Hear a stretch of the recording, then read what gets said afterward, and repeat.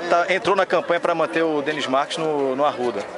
Só que a gente não está com dinheiro, a gente está trazendo mensagens para que convencê-lo a ficar aqui no Arruda. Vários torcedores participaram, colocaram aqui nesse porquinho estilizado. Você não vai escrever nada, mas se tivesse que dizer alguma coisa para o seu colega permanecer aqui, tentar convencê-lo, o que é que você diria?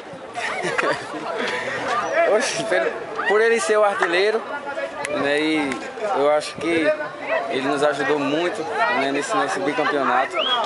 Né, eu estou nessa campanha né, do porquinho também, né? Então vamos colocar é, esse porquinho aí no, no, no, chiqueiro dele, né? No chiqueirinho que ele possa engordar.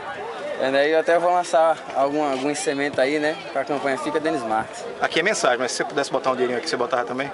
Ah, então, claro que eu colocava, né? Para o artilheiro ficar. Acho que é um, um jogador diferenciado né, que, que nos ajudou né, e vai continuar nos ajudando. Então eu torço né, e espero que ele possa ficar e possa nos ajudar nessa caminhada. Rapidinho, ficou bonitinho o porco? Ficou bonito, bonito mesmo. Então vamos encher esse pouquinho de mensagem aí né, para fica Denis Marques. Valeu. Depois da sessão Vai fazer aquele aqui, Jamil? Capricho, vamos à entrevista com o Memo. Memo, em relação à Série C, é, a responsabilidade aumenta pelo fato do time ter sido bicampeão, a responsabilidade do Santa Cruz vem aumentando a cada ano. Nessa nova gestão, Antônio Luiz Neto e Zé Teodoro, e vocês? Eu acho que pela grandeza que, que o Santa Cruz é, né, e pelo, pela campanha que, graças a Deus, né, a gente vem fazendo, acho que já é um ano e meio de, de sementes é, que a gente vem colhendo eu acho que é o fruto do trabalho, né? o fruto que durante a semana a gente vem plantando a semente, a semente vem, vem germinando, semente maravilhosa.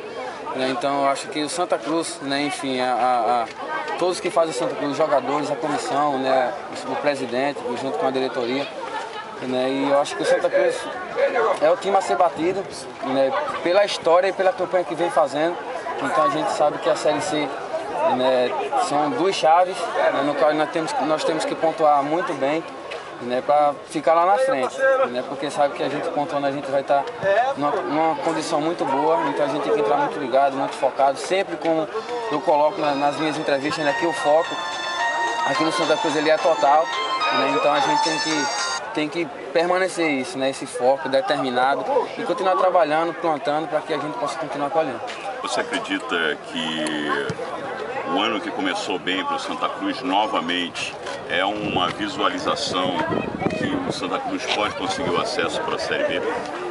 Eu, eu creio, né, por mim, né, e não vou deixar de, né, de me ver novamente no, no subindo de divisão. Né, eu acho que o grupo está tá, tá de parabéns pelo campeonato que fez, né, pela sequência que vem tendo desde 2011. Né, e, e como eu falei, é, eu acho que o objetivo do, grupo, do clube agora e do grupo também é subir divisão. Né? Então a gente vai estar focado nisso.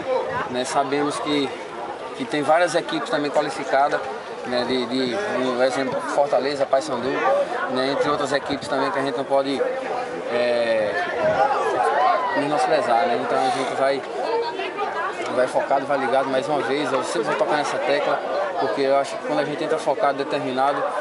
Na final foi, foi o que aconteceu, ver o título, então a gente tem, tem que ir com tudo, né? claro, respeitando as equipes, mas sabendo que essas três cores, esse escudo pesa né? no cenário brasileiro. O que é que muda no comportamento, na forma de jogar Santa Cruz para a Série C agora?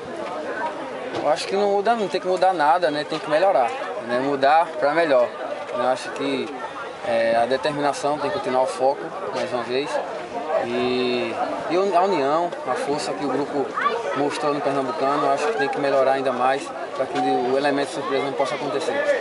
É, agora, você aí no início da entrevista falou pela permanência do Denis Marques.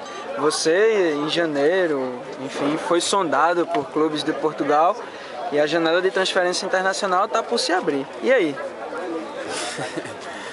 é, cheguei no, no, clube hoje, né? É, também não, eu não sou de mentira, né? eu sou, falo a verdade. É, eu até nem esperava que vocês tocassem nesse assunto, né? Mas acho que é do futebol também. É, tem, tem, claro, né? Acho que o jogador que, que é campeão, acho que acontece né, a sondagem de, de alguns clubes. Então eu, eu tô tranquilo, né? Tô em paz. Meu pensamento é primeiramente no Santa Cruz. Né? Mas tem, tem algumas coisas, então eu deixo com o meu empresário, primeiramente coloco na mão de Deus.